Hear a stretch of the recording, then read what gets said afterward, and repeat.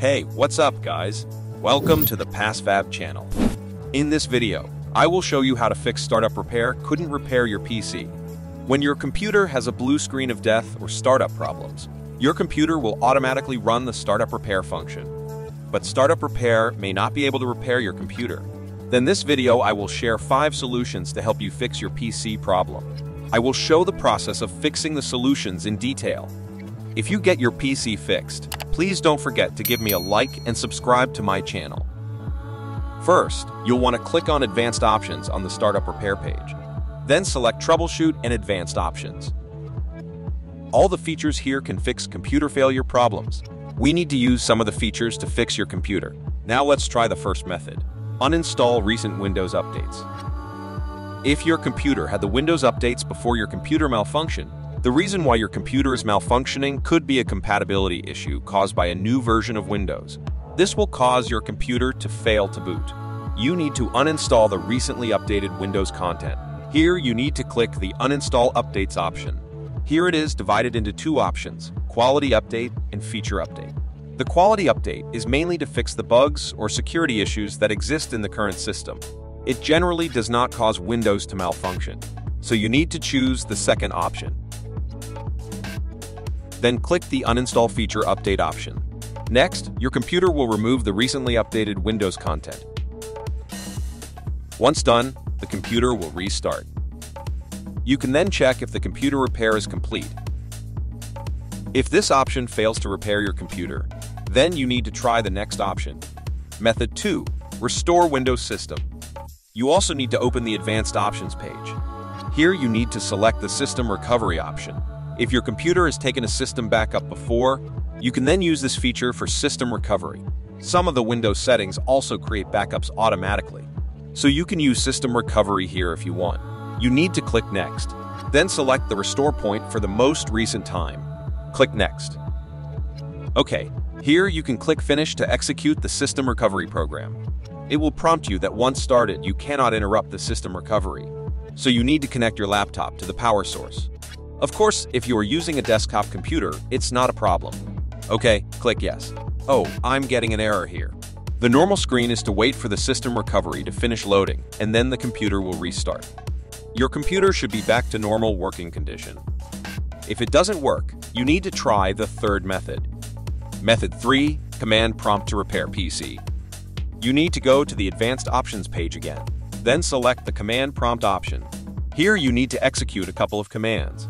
These commands I will put in the description below the video. Now type in the first command, sfc, space slash scan now. Then press enter. This command will scan your Windows system for errors and repair it. Wait for the scan to complete and type the next command, chkdsk, space slash f space c colon. Then press the enter key. This command will scan your computer system disk for corruption and repair it. Wait for the detection to complete, and then type the next command. bootrec space slash fix mbr.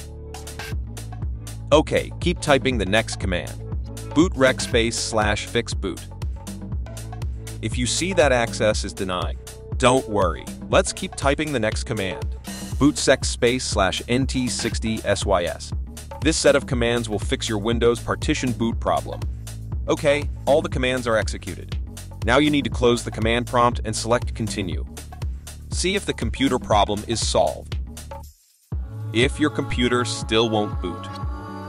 Method 4. Repair computer and startup settings. You need to access the advanced options again. Select the Startup Settings option. You need to click on Restart to access the startup settings. Under the Startup Settings feature, you can try the seventh option, Disable driver signature enforcement. When you have drivers installed in your computer that are not signed by Microsoft, it may cause your computer to fail to boot.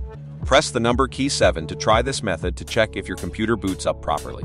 You can also try the eighth option, Disable Early Launch Anti-Malware Protection. This feature may at times incorrectly block normal boot drivers, causing Windows to fail to boot.